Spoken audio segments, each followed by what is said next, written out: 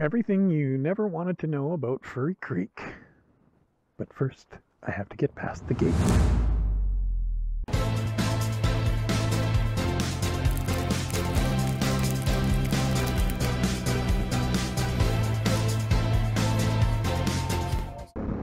Up in Furry Creek today.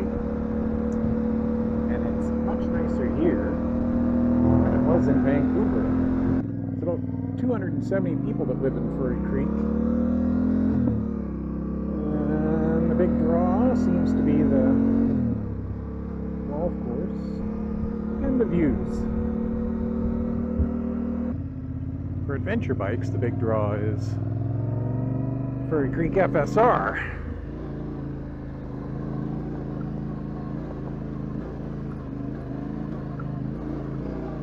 But before you can do that, you gotta get past the gate.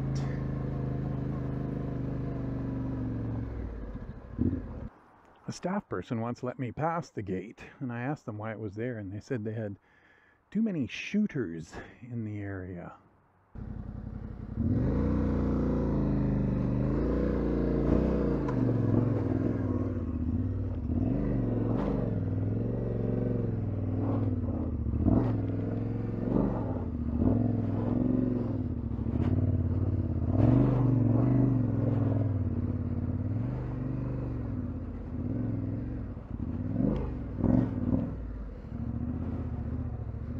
Okay, well, that wasn't very graceful, but it did the job.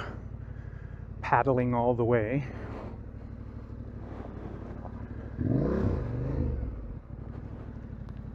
There's a gate back there.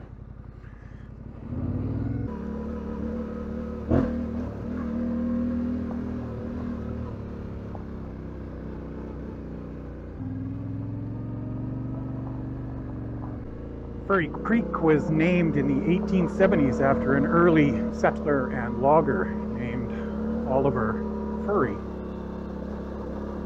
And they logged both sides of the slopes here. And there was a shaft from the Britannia mine that opened into the valley. And the loggers provided lumber up to the mine to shore them up.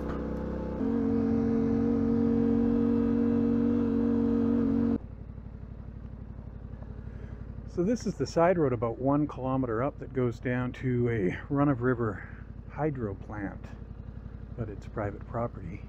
I've never seen the plant. Maybe we can get a look at it with the drone.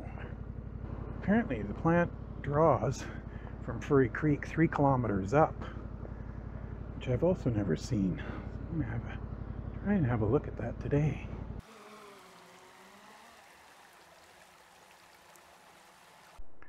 Well, that was not very dramatic, but I did catch a view of the penstocks running up this way. So I'm going to go back to the junction back here. This is the junction. I've been up here before.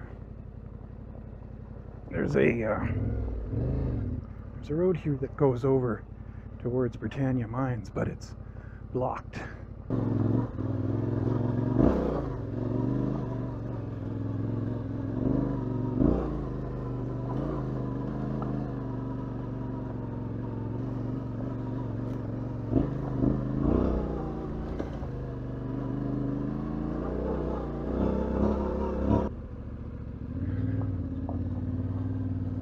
Huh.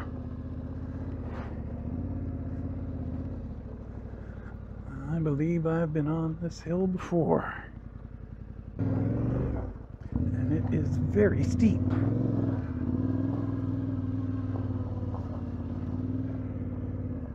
Unless they're talking about this one. No.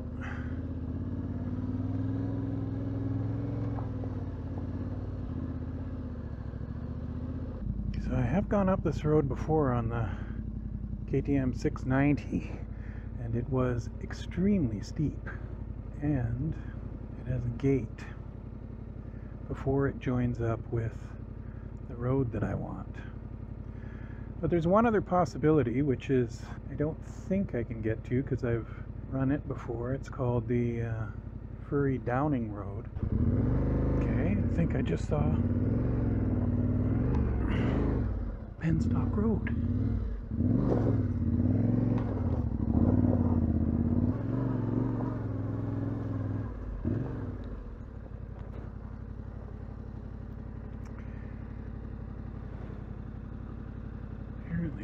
that way, not that way.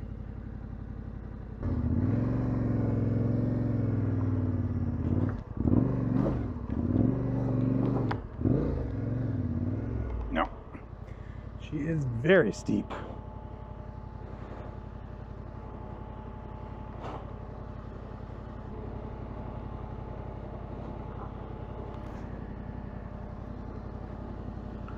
Just digging a little trench here.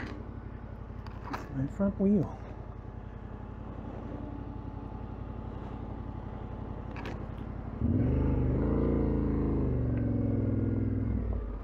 Map shows a gap in the road at the top of the hill.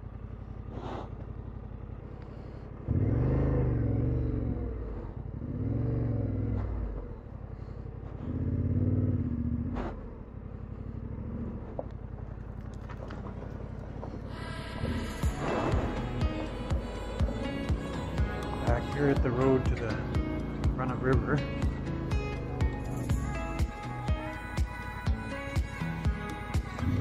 First bridge is actually Furry Creek. But they've already diverted the stuff they're using for the power out of it quite a ways up.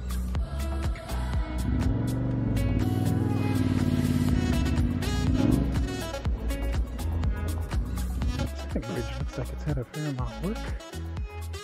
Fill here.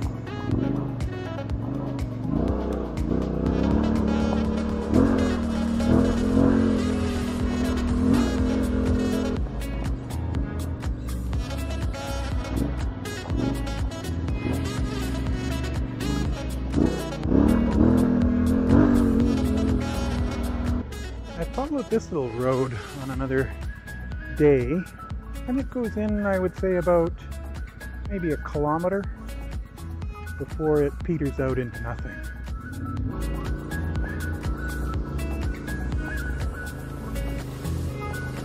This is the, it's called Forest Dunning, which obviously doesn't get a lot of traffic. I've run this one before as well, but it ended up at a washout at a, at a waterfall. Give it a try and see what happens. Quite damp in here.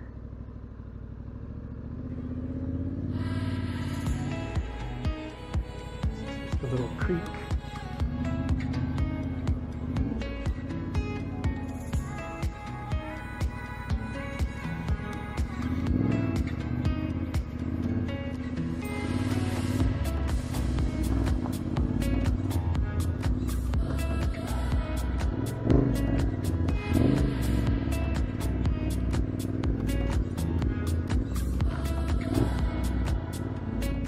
Road was much more overgrown than the last time I was here.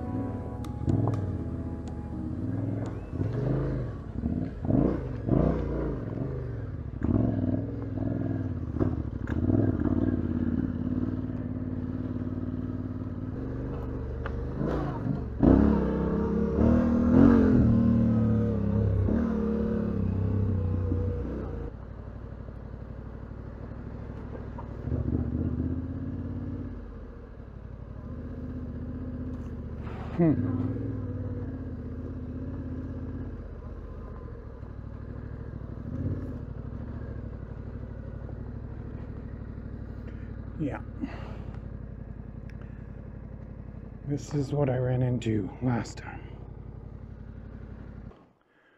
With the 690, I even contemplated trying to get over it very briefly because it is very big rocks and logs. I suspect the dirt bikes can do it.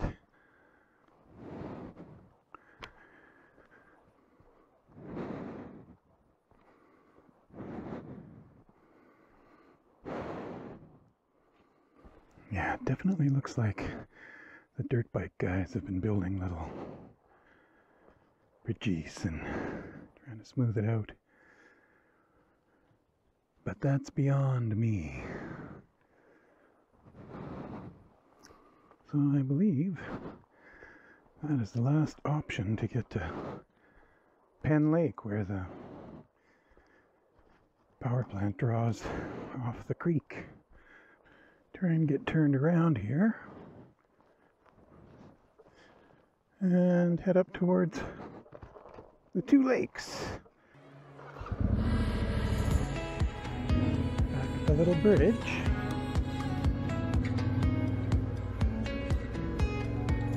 This is the main line again.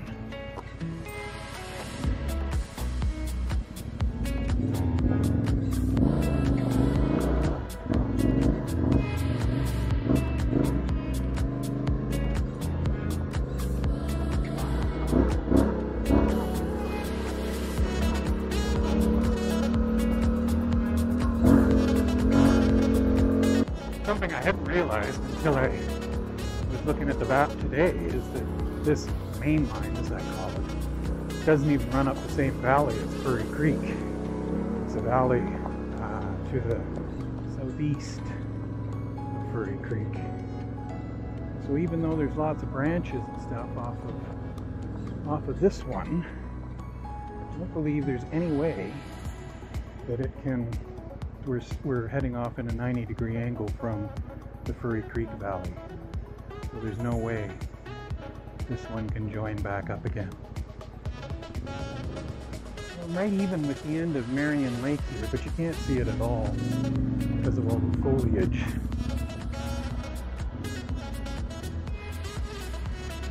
There doesn't seem to be any, oh,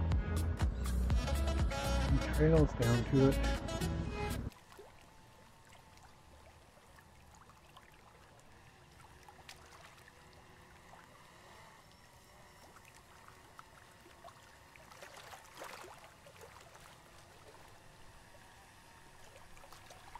The end of Marion Lake does look unusually straight. So perhaps Wikipedia does not lie. This is the south end of Mary, Marion Lake. And there's only the tiniest little piece of land between it and Phyllis Lake.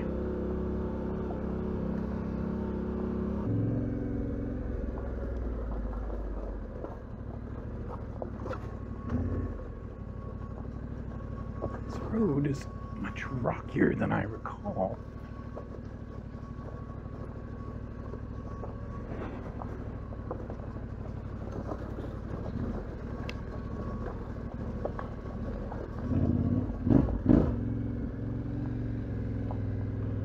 And this is Phyllis Lake. Very pretty.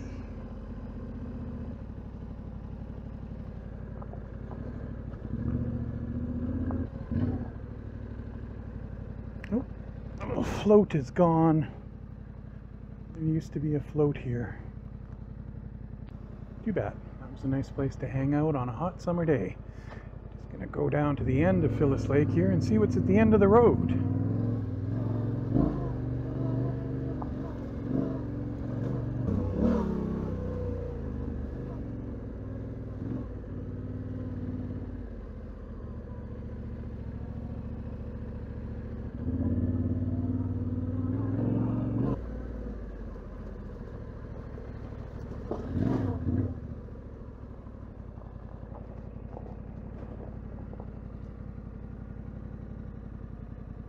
This is where the main road goes, supposedly, it's up there. But you can see, probably can't see them on camera, but there's a gate right up there, which is the Capilano watershed. And you can't go past that. Maybe we'll go down this way.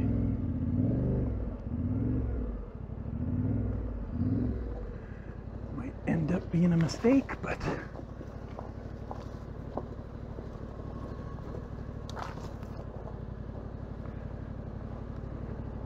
this is probably just a maintenance trail for the transmission towers.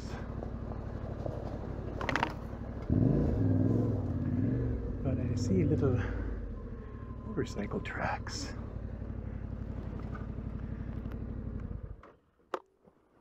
Yeah, you can see the gate up there just by the transmission tower.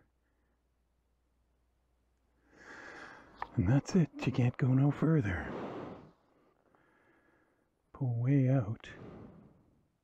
You can see that this is all Capilano watershed, all the way down to North Vancouver. Capilano and Seymour watershed. Okay, heading back now. Phyllis Lake. The Capilano watershed up at the end of the, on the other side of that gate there, is 19,500 hectares or 48,000 acres. The Greater Vancouver Water District got it in 1927 on a 99 year lease from the province. And they eventually closed it to, uh, got rid of all the logging and completely closed it down to the, uh, to the public. There was a proposal started in 1929 and stayed alive until uh, the mid 50s to put a highway through here, and it would have followed these transmission lines right, right down this Furry Creek FSR.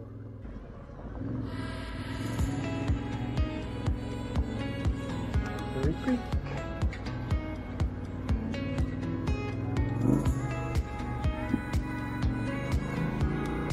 Once again, I forgot to turn the camera on for my descent down the workaround here. But didn't go too badly.